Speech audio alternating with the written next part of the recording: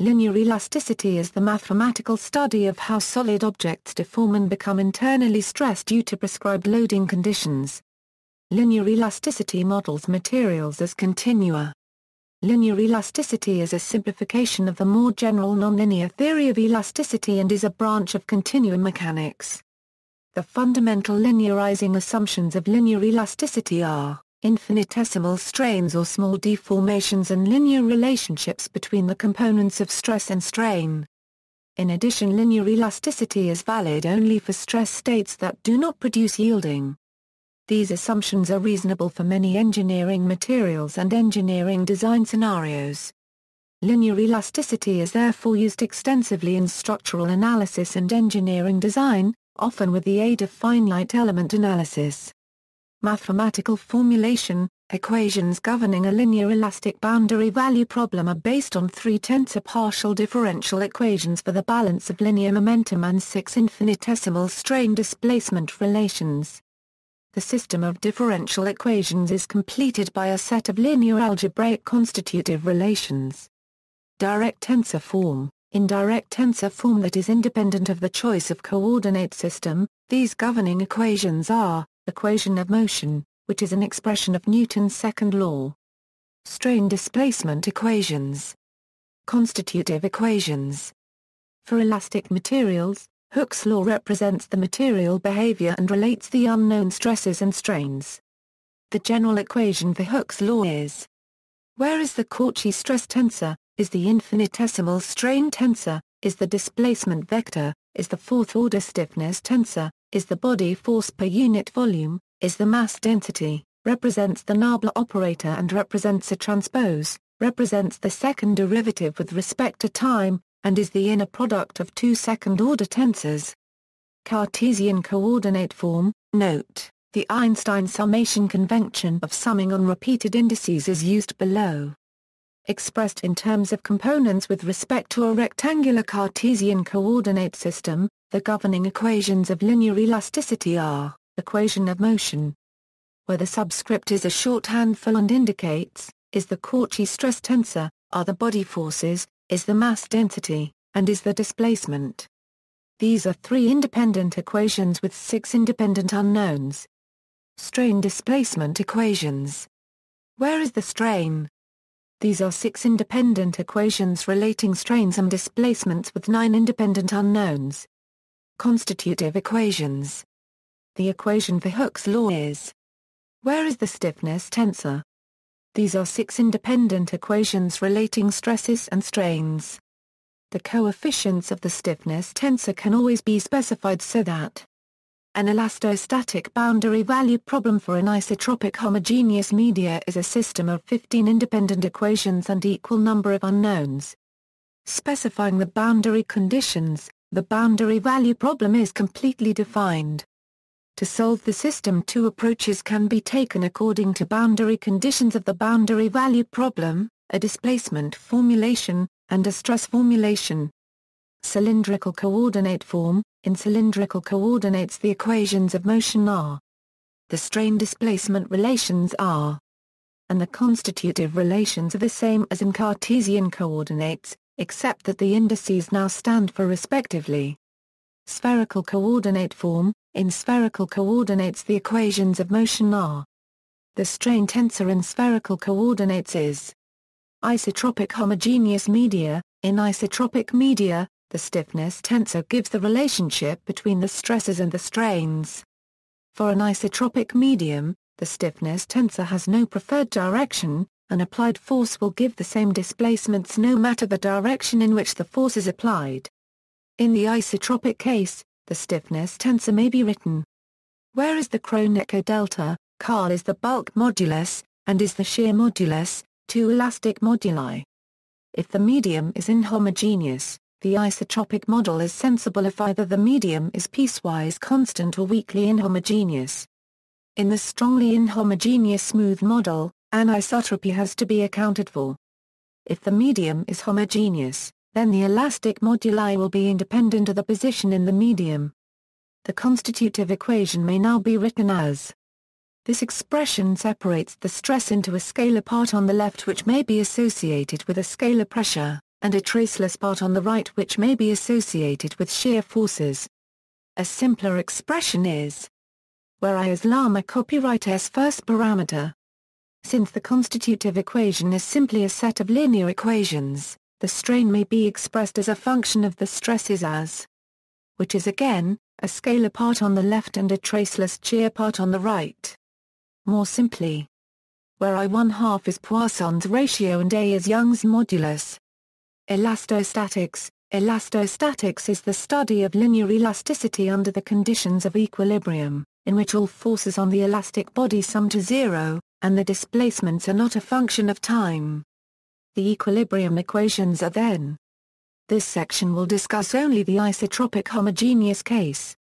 Displacement formulation, in this case, the displacements are prescribed everywhere in the boundary. In this approach, the strains and stresses are eliminated from the formulation, leaving the displacements as the unknowns to be solved for in the governing equations. First, the strain displacement equations are substituted into the constitutive equations, eliminating the strains as unknowns. Differentiating yields. Substituting into the equilibrium equation yields. Or, where and are copyright parameters. In this way, the only unknowns left are the displacements, hence the name for this formulation. The governing equations obtained in this manner are called Navier-Cauchy equations or, alternatively, the elastostatic equations. Once the displacement field has been calculated, the displacements can be replaced into the strain displacement equations to solve for strains, which later are used in the constitutive equations to solve for stresses. The biharmonic equation, the elastostatic equation may be written. Taking the divergence of both sides of the elastostatic equation and assuming the body forces has zero divergence we have. Noting that summed indices need not match, and that the partial derivatives commute, the two differential terms are seen to be the same and we have. From which we conclude that taking the Laplacian of both sides of the elastostatic equation, and assuming an addition, we have. From the divergence equation, the first term on the left is zero and we have. From which we conclude that. Or, in coordinate-free notation which is just the biharmonic equation in stress formulation, in this case, the surface tractions are prescribed everywhere on the surface boundary.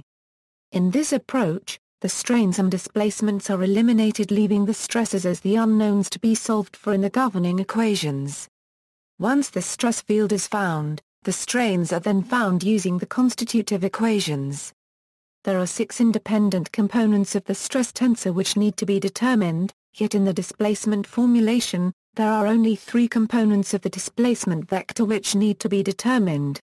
This means that there are some constraints which must be placed upon the stress tensor, to reduce the number of degrees of freedom to 3.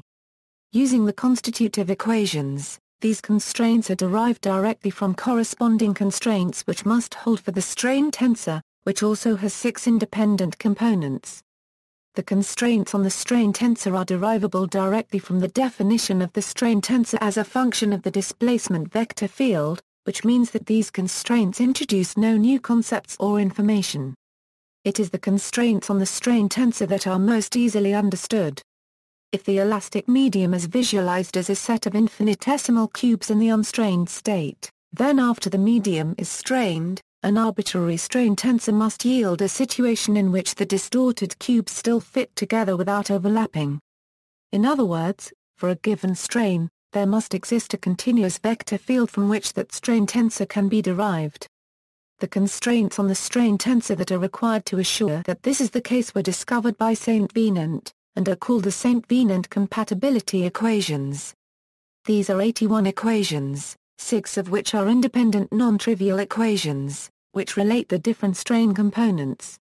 These are expressed in index notation as the strains in this equation are then expressed in terms of the stresses using the constitutive equations which yields the corresponding constraints on the stress tensor. These constraints on the stress tensor are known as the Beltrami-Michell equations of compatibility. In the special situation where the body force is homogeneous, the above equations reduce to a necessary, but insufficient, condition for compatibility under this situation is all. These constraints, along with the equilibrium equation allow the calculation of the stress tensor field. Once the stress field has been calculated from these equations, the strains can be obtained from the constitutive equations, and the displacement field from the strain displacement equations. An alternative solution technique is to express the stress tensor in terms of stress functions which automatically yield a solution to the equilibrium equation. The stress functions then obey a single differential equation which corresponds to the compatibility equations. Solutions for elastostatic cases. Other solutions, point force inside an infinite isotropic half space, contact of two elastic bodies, the Hertz solution. See also the page on contact mechanics. Elastodynamics a Euro the wave equation. Elastodynamics is the study of elastic waves and involves linear elasticity with variation in time. An elastic wave is a type of mechanical wave that propagates in elastic or viscoelastic materials.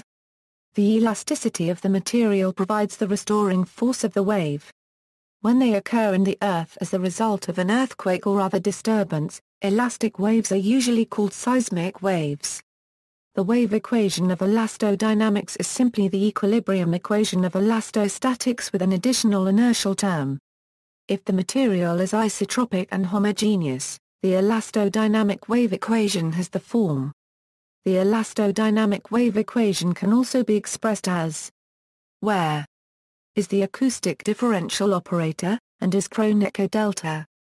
In isotropic media, the stiffness tensor has the form where is the bulk modulus, and is the shear modulus, two elastic moduli. If the material is homogeneous, the acoustic operator becomes for plane waves, the above differential operator becomes the acoustic algebraic operator. Where are the eigenvalues of with eigenvectors parallel and orthogonal to the propagation direction, respectively. In the seismological literature, the corresponding plane waves are called P waves and S waves. Anisotropic homogeneous media. For anisotropic media, the stiffness tensor is more complicated. The symmetry of the stress tensor means that there are at most six different elements of stress. Similarly, there are at most six different elements of the strain tensor. Hence the fourth-order stiffness tensor may be written as a matrix. Voigt notation is the standard mapping for tensor indices. With this notation, one can write the elasticity matrix for any linearly elastic medium as as shown, the matrix is symmetric, this is a result of the existence of a strain energy density function which satisfies. Hence, there are at most 21 different elements of. The isotropic special case has two independent elements. The simplest anisotropic case, that of cubic symmetry has three independent elements. The case of transverse isotropy, also called polar anisotropy, of symmetry, has five independent elements. When the transverse isotropy is weak, an alternative parametrization utilizing Thomsen parameters, is convenient for the formulas for wave speeds. The case of orthotropy has nine independent elements. Elastodynamics The elastodynamic wave equation for anisotropic media can be expressed as where is the acoustic differential operator, and is Kronecker delta. Plane waves and Christoffel equation a plane wave has the form with a unit length. It is a solution of the wave equation with zero forcing, if and only if and constitute an eigenvalue eigenvector pair of the acoustic algebraic operator. This propagation condition may be written as where denotes propagation direction and is phase velocity. See also References